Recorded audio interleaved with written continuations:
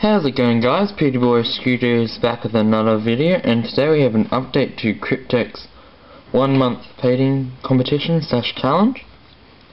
So what I've done so far is I've essentially airbrushed all of the cream colours onto the um, veteran's cloth pieces and then I've given it a wash with Agrax Earthshade.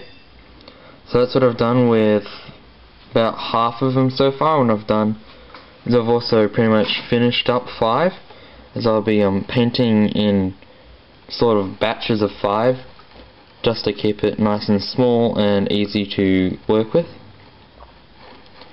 So this was the first test model that I did for the scheme and it was quite interesting trying to mix the colour scheme which I've mostly mainly based off or worked with on my tank so far and I haven't exactly tested on infantry. So it took a little bit of tinkering with to get it to a stage which I'm happy with. So the armour is a bluey grey that's been weathered up and then washed. I think it's come out really nicely. The fatigues are just Karak stone that's been washed with Agrax Earthshade and then highlighted back up. The boots are just normal black. I think I've missed a wash on that grenade there, but I'll just go that in a minute. The medals are mod or Vallejo Model Air um, silver, mixed in with a little bit of black just to darken it down a bit.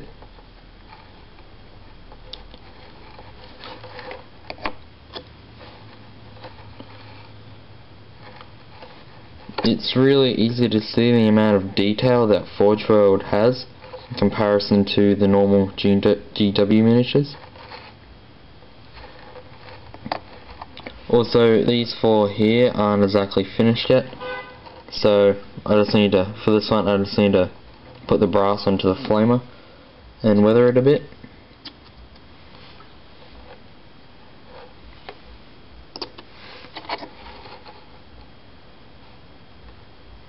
I really like the skin that I've done on these models as it's a really sort of pale skin.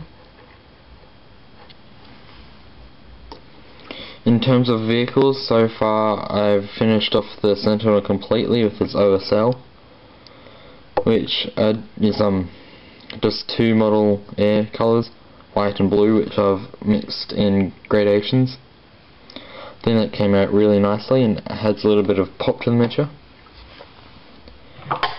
and I've also airbrushed silver onto this dozer blade and then based up that bit using red. And I've tried out one of the stencils which I received and cut it custom on the back of this. So there it is.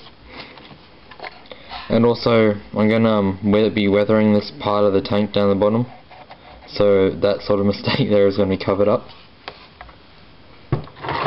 also, if you'd like to see a tutorial on how to airbrush this OSL, I'm going to be painting up the weapons for the Leman Russ, which is an executioner cannon and two plasma cannons.